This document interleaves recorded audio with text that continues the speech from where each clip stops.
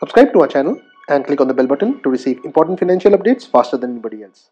Friends, welcome to another video on your channel Profit Equities. In this video, we'll be talking about a small cap appliance maker where Dolly Khanna has bought up to 1,85,315 shares aggregating to a 1.04% stake in this company during the last quarter.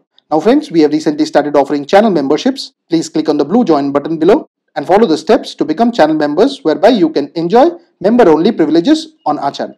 Also friends, if you like the content that is produced on our channel, please don't forget to like this video, share these videos and if you have not already subscribed to our channel, please click on the red subscribe button below. This will help you get notified whenever we upload any new videos. Please watch this video to know more.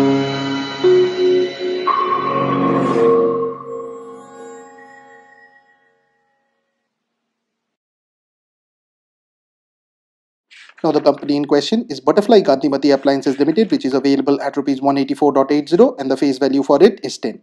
The March 2019 holding for Dolly Khanna in this particular company stands at 1.04%. The symbol for it is BUTTERFLY. Now Butterfly Gandhimathi Appliances Limited is a manufacturer of domestic kitchen and domestic electrical appliances.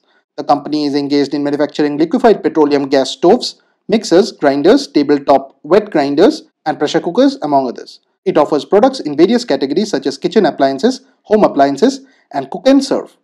It offers products under the Butterfly brand and also exports its products to the United Kingdom, Mauritius, Sri Lanka, and Japan, among others. Now, as is evident from the one year chart, this company has been on a consistent downtrend and a lot of wealth has been eroded here. The company has a market capitalization of 330.41 crores, which means that the company is a small cap one.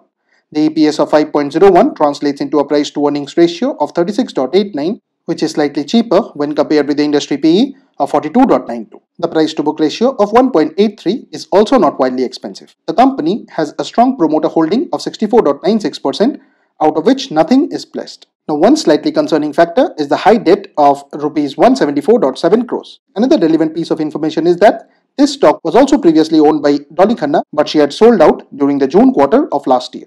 Her entry into the stock now reinforces the confidence that investors may have in this company. Now friends, please don't consider this to be a recommendation on our part. Please go ahead and do your own research. This and all other content that you see on our channel is intended to be a piece of news. Thanks for watching and if you have not already subscribed to our channel, please consider doing so.